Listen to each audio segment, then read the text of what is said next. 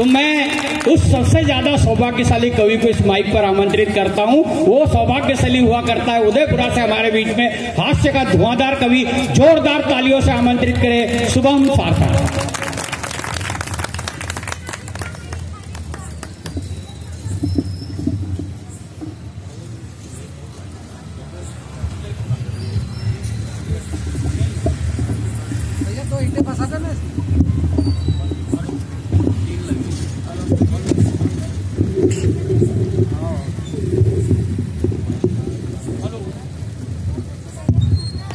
Hello.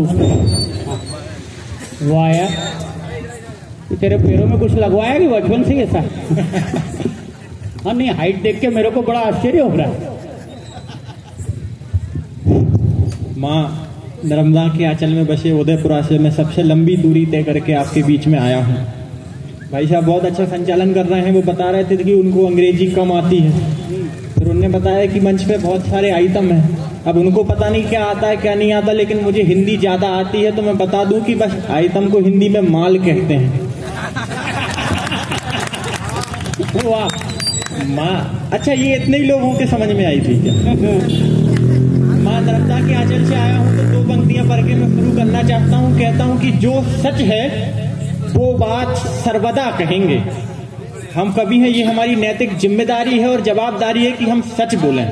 कहीं ना कहीं सिर्फ़ हमसे उम्मीद है, वरना अखबारों के हालात तो आप देख रहे हैं। तब मैं कहता हूँ अच्छा अखबार में क्या होता है? हमारे यहाँ कहा जाता है कि पत्रकारिता जो है, वो लोकतंत्र का चौथा स्तंभ है। और जिस तरह की बातें वहाँ आजकल हो रही हैं, ऐसा लगता है कि बिना चार खंभों के ऐसी बातें हो भी नहीं सकती। तो मैं दो पंक्तियाँ यहाँ से पढ़ के शुरू करता हूँ कि जो सच है हाँ। वो बात सर्वदा कहेंगे। आहा। हम नर्मदांचल वासी हर हर नर्मदा कहेंगे। एक बार मेरे साथ आगे ही। जयकारा लगा नर्मदा मैया की। नर्मदा मैया की। बहुत सारे लोग अभी ये सोच रहे होंगे कि यहाँ पे हो क्या रहा है और ये सब चल क्या रहा है।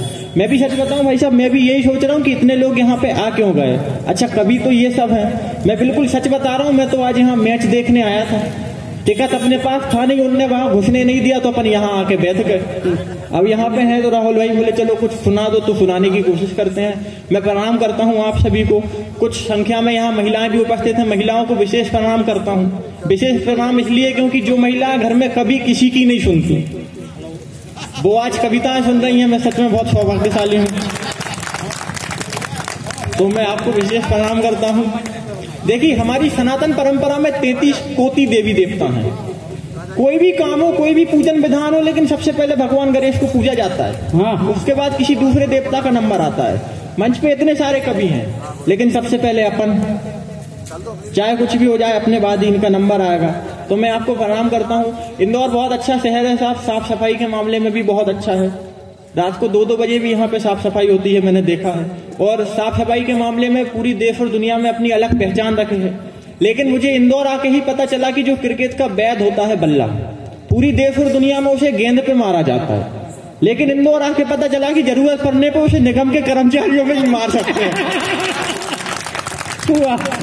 सच बता रहा हूँ भाई साहब इंदौर का मामला थोड़ा अलग है। तो ये दिक्कत है, देखिए मामा जी की ज़्यादा कोई बात नहीं करूँगा।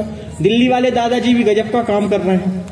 मैं उनसे बहुत प्रभावित हूँ भाई साहब, ज़िंदगी में कभी भी तरक्की हो तो मोदी जी जैसी। गजब की तरक्की करी भाई साहब उनने।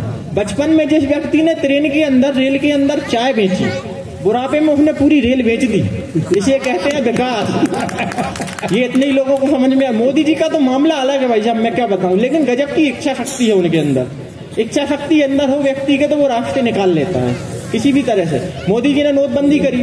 अच्छा मोदी जी के मामले ऐसे अलग है कि उनने संसार के नीति नियम भी बदल दिए।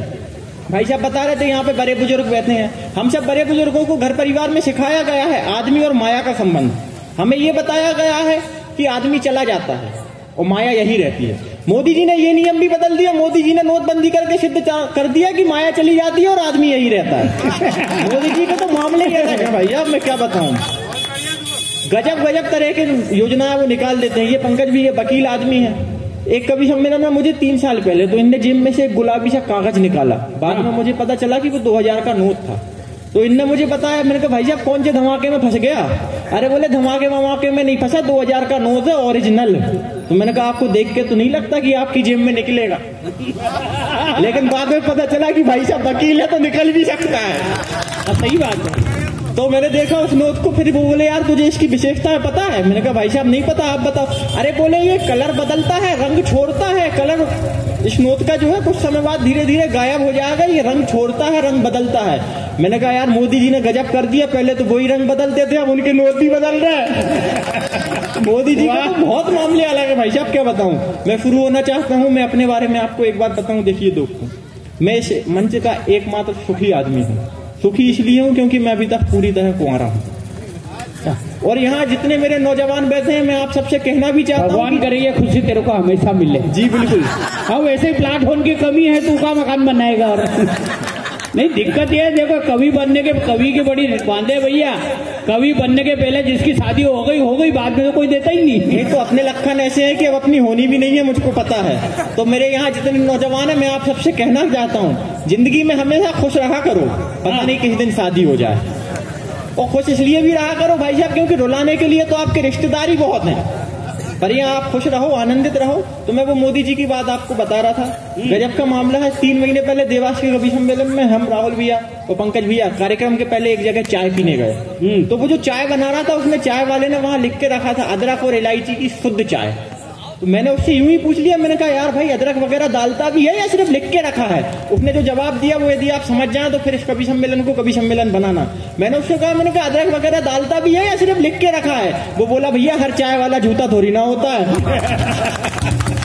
तो मैं प्रणाम करता हूँ आपको। तो हम लोगों ने चाय पी। चाय पीने के बाद क्या हुआ? पंकज भैया ने चाय का कप सीधा रख दिया। अब हमारे राहुल भैया का नंबर आया। इनने क्या करा? चाय पीने के बाद चाय का कप उल्टा रख दिया। अब मेरा नंबर आया। अब मैंने सोचा, मैंने कहा, यार, इनने उल्टा रखा, इनने सीधा करा, मैं क्या करूँ? तो मैंने जो बशी आती है, जिससे चाय पीते हैं, उससे चाय का कप टिका के तिरछा रख दिया। इनने मुझसे पूछा, बोले, ये क्या करा? अरे, मैंने कहा, पहले आप बताओ, आपने क्या किया? बोले, मैंने चाय का कप सीधा रखा। इसका मतलब यह है कि अब मुझे और चाय चाहिए। मैंने कहा, राहुल भैया, आपने उल्टा क्यों रखा? अरे, बोले, इसका मतलब यह है कि अब मुझे और चाय नहीं चाहिए। अब तू बता, तूने तिरछा क्यों रखा? तो मैंने कहा, भैया, देखो, अपना मामला तो ऐसा है, वो तो दे दो, नहीं तो कोई बात नहीं। तो मैं आपसे यही कह रहा हूँ एक बार आप तालियाँ बजा दे तो ठीक है? नहीं तो कोई बात नहीं। मैं शुरू होना वाह वाह वाह वाह वाह। बढ़िया बढ़िया बहुत शानदार। अच्छा ये भाई साहब बता रहे थे मैं बहुत लंबा हूँ। मैं बताऊँ भाई साहब मैं पहले ऐसा नहीं था। पहले मैं पंकज भैया की तरह हुआ करता था एक जमाने में। लेकिन मुझे एक बार धोखा मिला और वो धोखा भी प्यार मोहब्बत में मिला उसके बाद से मेरी हालत ऐसी हो गई। मैं बताता हूँ मेरे साथ धोखा कहाँ हुआ? चार पंक्तियाँ देखना आजकल ये जो नौजवान दोस्त हैं इनके साथ बहुत ऐसा होता है।